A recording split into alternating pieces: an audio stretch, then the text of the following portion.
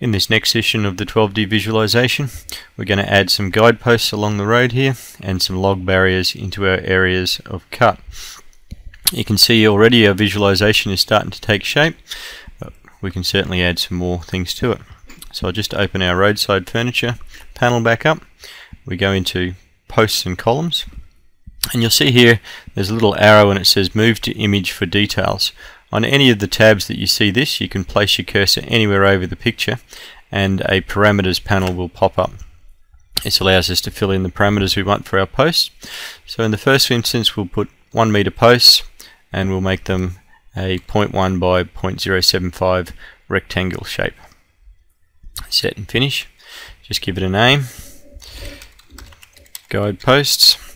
Now the names aren't uh, compulsory in 12D, I just like to add them in model 12D viz guideposts and we'll make it a color of white.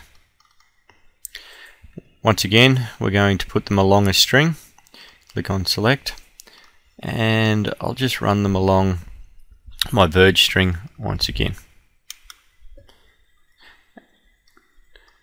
Once again 12D asks how you want to install them um, we'll put them in at a distance of every 20 meters.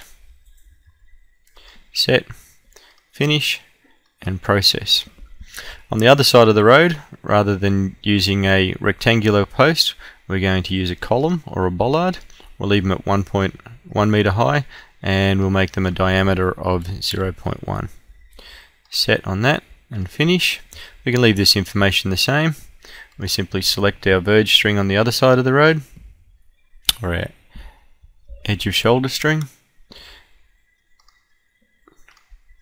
By distance again every 20 meters click set finish and process. The other thing we're going to add in at the same time will be some log barriers. We'll add the log barriers into any areas where there's been cut and there's a table drain installed. So Move to the image once again for details. Can go up into here. I can change any of the parameters of my log barrier. Okay, we'll just leave them at the default for the moment. Give it a name. Log barrier. A model. 12D viz log barrier and a color. I might do these in a Colorbond. Once again, I just simply select my string. Now this string was already broken when I did my um, guardrails earlier on, so I can just select the remainder of the string and process. To the other side of the road,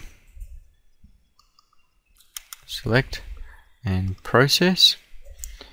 And any other areas of fill. I might as well do them all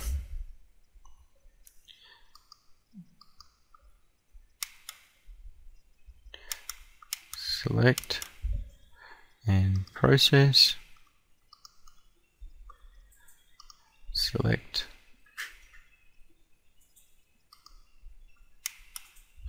And process. So if I go now back into my perspective view you can see once we turn the models on that we've added in our guideposts down the side of the road on one side we have circular bollards, on the other side we have rectangular posts and our log barriers. If I now go for a drive down the road,